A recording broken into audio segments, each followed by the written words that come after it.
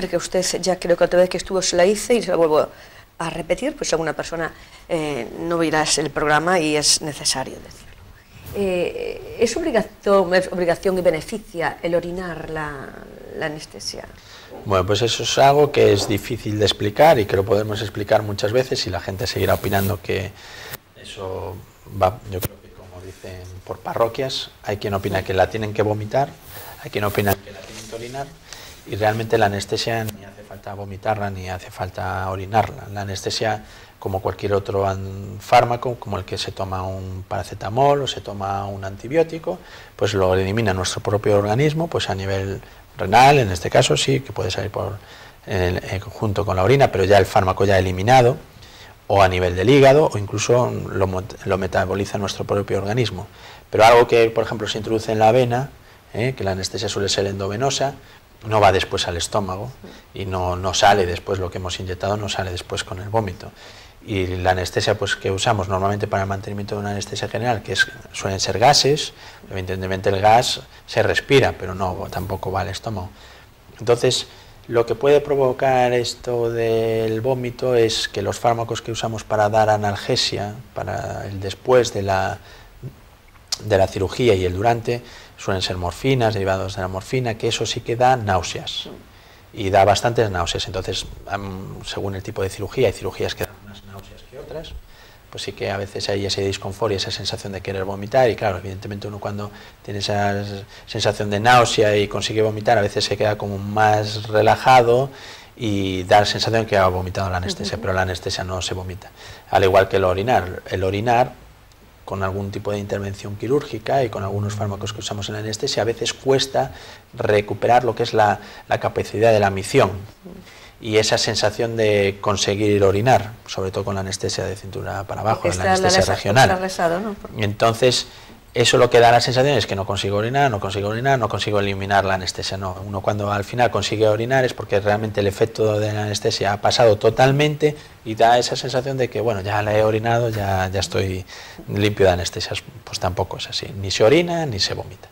Bueno, pues esas son dos eh, etiquetas que funcionaban siempre por ahí y que, vamos, creo que un porcentaje muy grande aún sigue existiendo respecto a estos dos temas. Em, ¿Qué aspectos relevantes debo de decir el médico y el anestesista? ¿Qué aspectos relevantes tienen entre ambos? ¿Qué es lo que más les importa un momento al anestesista y al, y al, médico a la hora de una intervención quirúrgica? Bueno, pues lo que al anestesista más le interesa es saber qué patologías tiene el paciente, porque evidentemente cada patología va a delimitar, digamos, el uso de algunos fármacos que nosotros tenemos o la complicación que vamos a tener para controlar la fisiología del paciente. La fisiología del paciente lo que hace la anestesia es que el paciente esté con las mismas condiciones basales, digamos normales, que si estuviera el paciente tranquilamente en casa, pero durante una cirugía. Entonces, evidentemente, luego depende del grado de cirugía, si la cirugía es muy agresiva o es una cirugía que puede haber pérdidas de sangre o de mucha duración, es más complicado para nosotros mantener esa estabilidad a nivel de tensiones, a nivel de temperaturas, todo. Entonces, si hay enfermedades que eso nos lo vaya a dificultar más, pues por ejemplo una bronquitis o una hipertensión, pues eso nos conviene saberlo para nosotros saber qué grado de dificultad vamos a tener y qué tipo de anestesia vamos a, usar. Y luego lo que nos hace falta saber, evidentemente, es de qué van a operar ese paciente. ¿eh?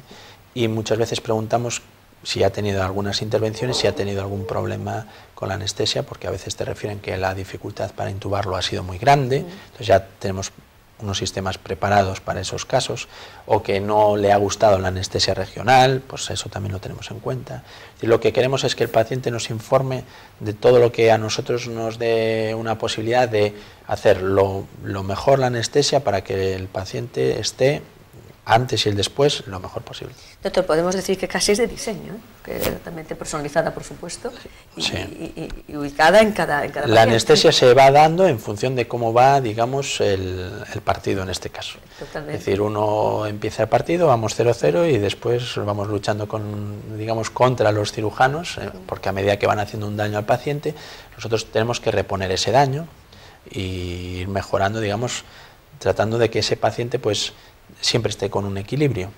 Entonces la anestesia, aparte de estar personalizada, porque cada persona es un mundo, lo que sí que está es, digamos, controlada casi al minuto, porque en cada momento que va surgiendo necesidades hay que ir reponiéndolas o dando más medicación. Entonces cada persona va a tener una anestesia personalizada. Totalmente. Eh, y doctor, la pregunta también, ¿se puede morir eh, mientras está anestesiado? Por supuesto, se puede morir en cualquier lado. Evidentemente, vamos a ver, lo que es morir durante una intervención quirúrgica en este caso, sí, porque hay intervenciones pues, que son urgentes, hay pacientes que vienen muy graves, pues porque han tenido un accidente de tráfico o porque han tenido, pues por ejemplo, un aneurisma de aorta, son complicaciones extremas y que ponen en peligro la vida y que son difíciles además de tratar. Lo que es por la anestesia en sí es más difícil. La anestesia va a pareja a la cirugía. Nosotros tenemos algunos riesgos en la anestesia de manejar al paciente, que sobre todo en la anestesia general, el momento de intubar al paciente, que es uno de los momentos de mayor estrés porque el paciente no respira, el paciente ya no, nos puede ayudar y nosotros tenemos que, digamos, intubarlo o, darle el oxígeno y el aire de una forma artificial. hay pacientes que es muy complicado, entonces si no somos, digamos, capaces en ese momento, pues tenemos una complicación incluso el paciente se puede morir. Evidentemente los casos son mínimos y ya le hacemos una serie de pruebas al paciente para ver el grado de dificultad y nosotros rodearnos de los medios necesarios. Ese sería, digamos, el caso más frecuente en que alguien podría morir, digamos, por la anestesia. Pero en este caso sería por una dificultad técnica ante un paciente. ¿De acuerdo?